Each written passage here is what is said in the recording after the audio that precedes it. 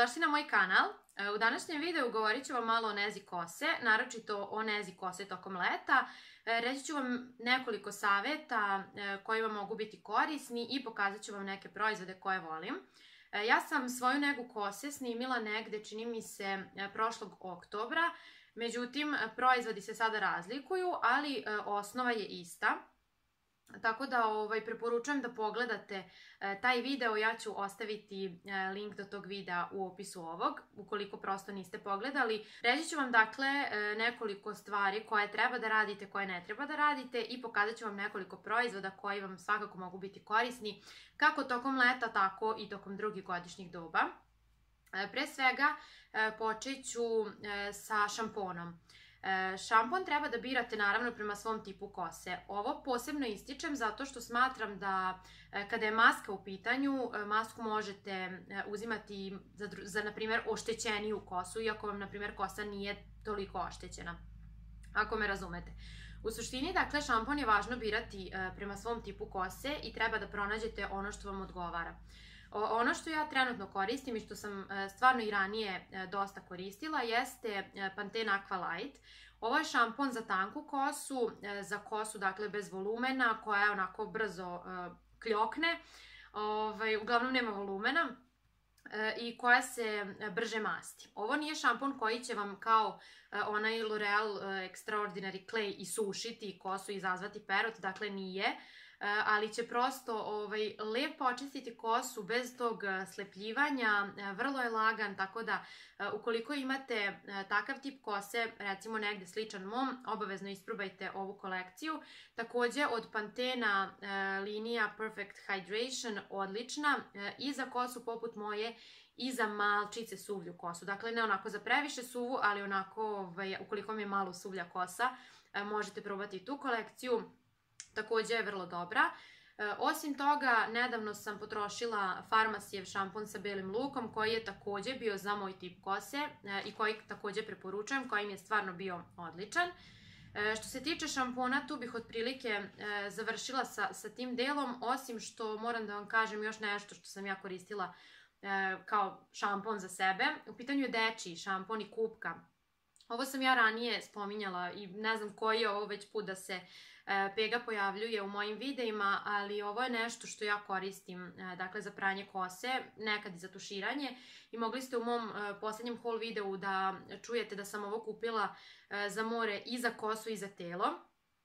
Ovo sam, dakle, dosta dugo koristila kao ovaj, svoj šampon, naravno. I pošto je blaga formula, ne isušuje vam kosu i prosto dobijate isti taj efekat E, laganosti. Dakle, imate, nećete vi sad dobiti ne znam kakav volumen, ali prosto neće vam otežati kosu. To je ono što je e, važno napomenuti.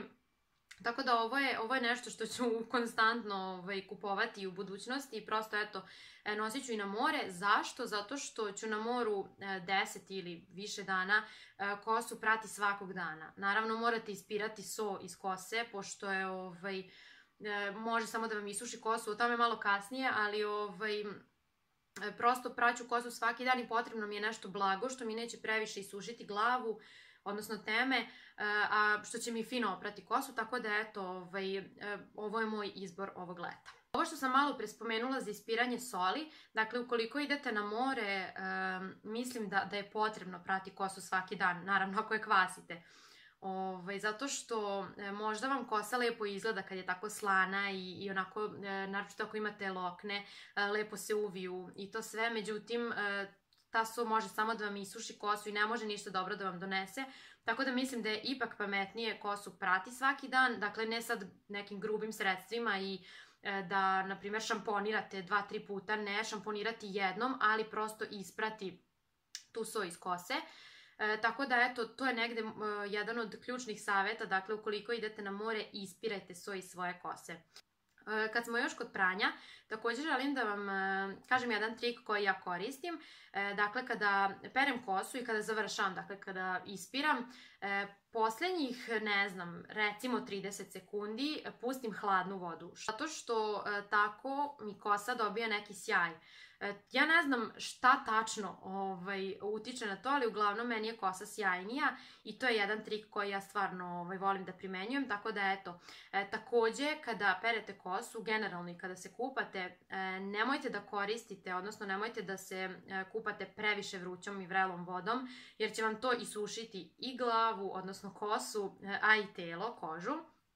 Tako da, E, trudite se da ta voda bude topla, mlaka, ali ne vruća i kažem e, za završno ispiranje koristite hladnu vodu za sjaj kose, a takođe to će da vam podstakne i cirkulaciju, tako da moguće je da će uticati i na brži rast kose, a takođe i na cirkulaciju u telu.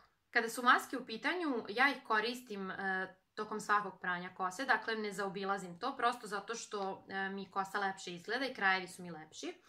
E, maska koja mi je u poslednje vreme postala favorit e, jeste ova Balea Professional Oil Repair e, maska. Bez silikona je sa arganovim uljem i fitokeratinom, ima 200 ml u sebi, košta nekih 400 dinara u DM-u.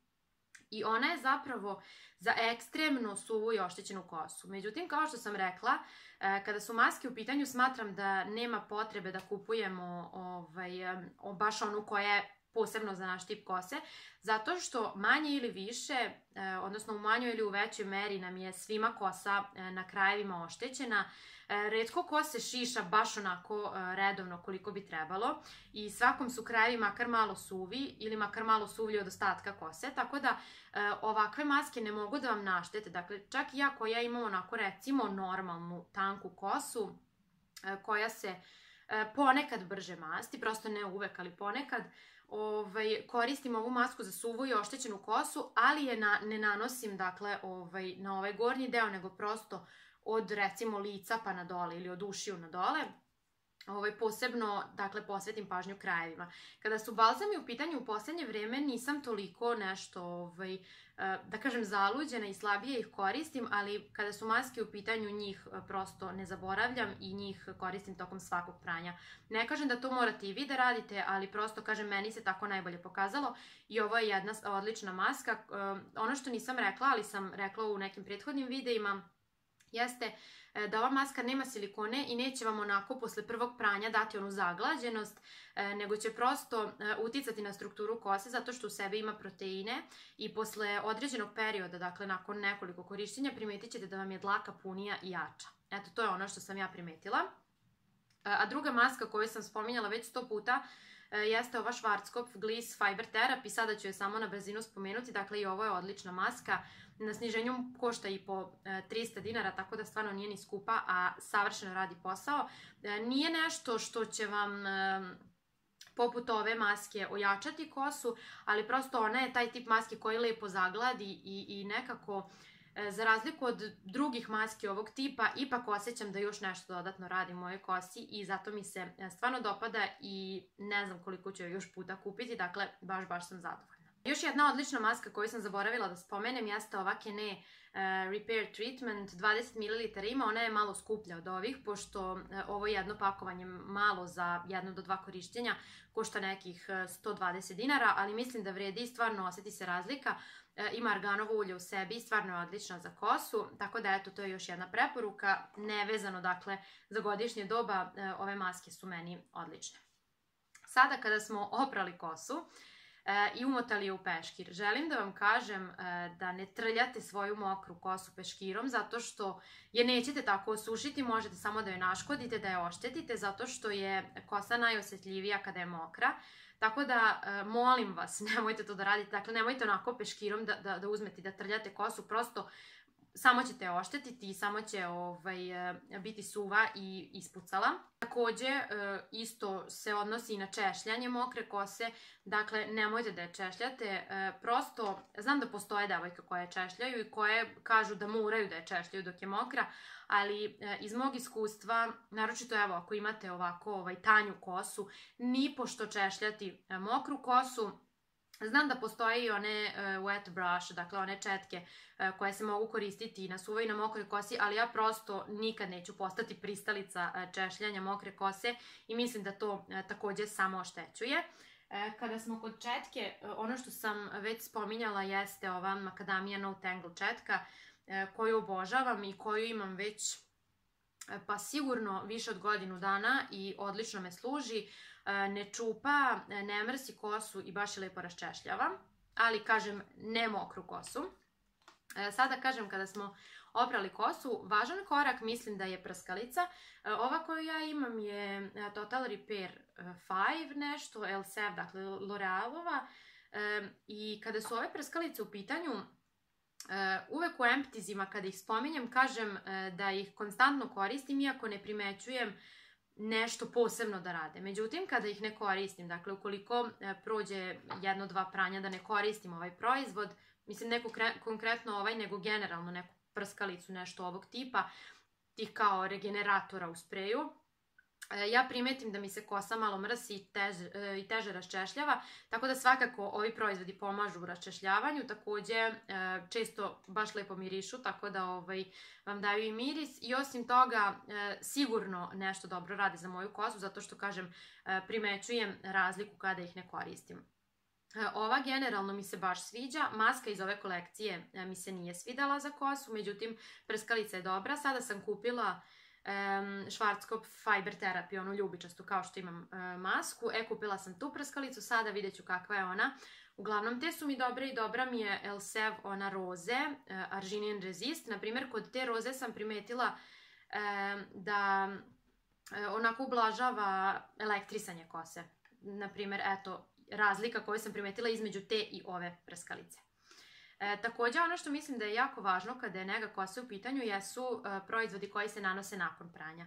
Dakle, smatram da nega kose treba da se nastavi posle pranja i da se e, krajevi još nečim e, dopune, zatvore, e, prosto nahrane.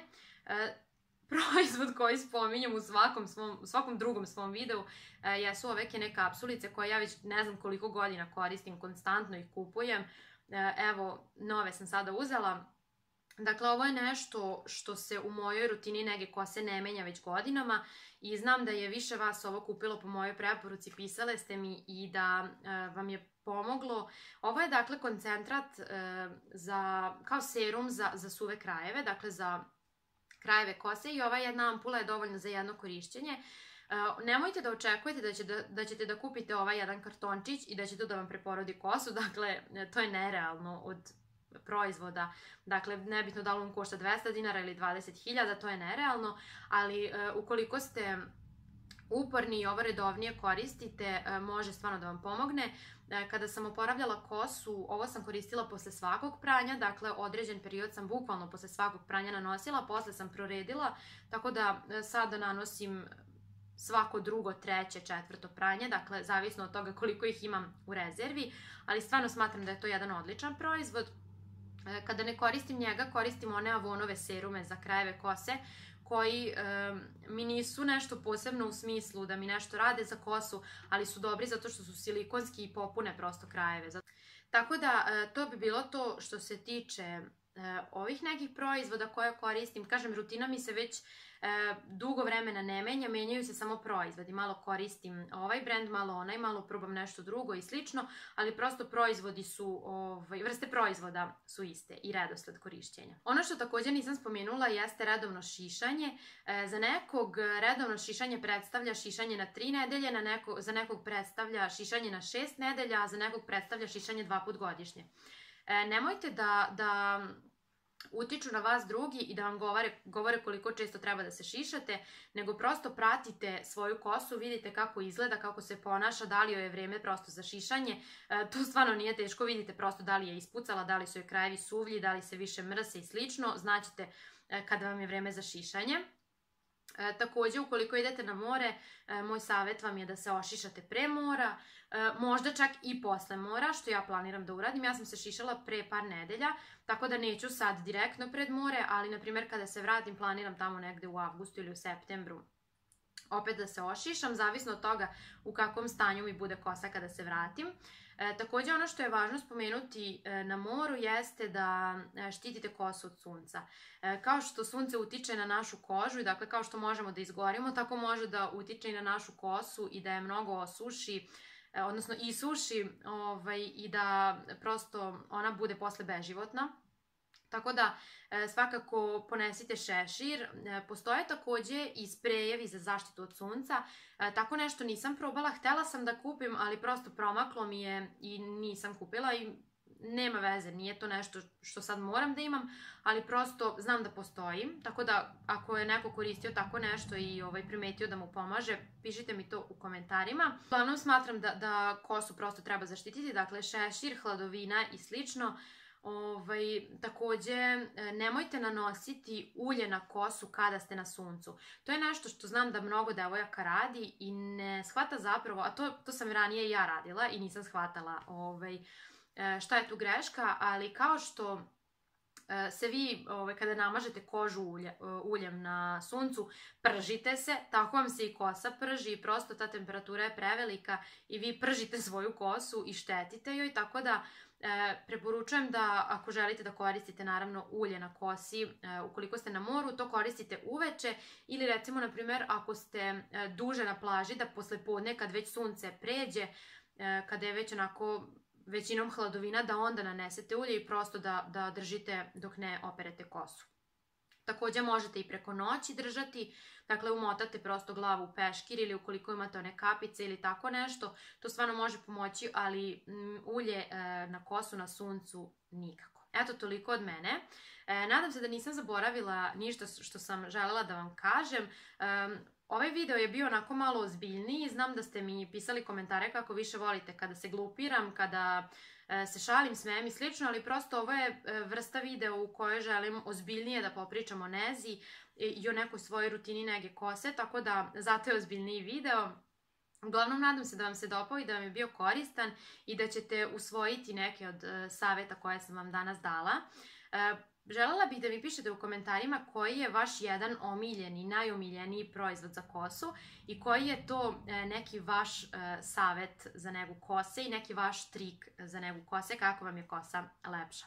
Toliko od mene za danas, e, hvala vam od srca na gledanju, lajkujte ovaj video ukoliko vam se dopada i pretplatite se na moj kanal ukoliko se niste još uvek pretplatili, a mi se vidimo vrlo brzo u novom videu. Ćao!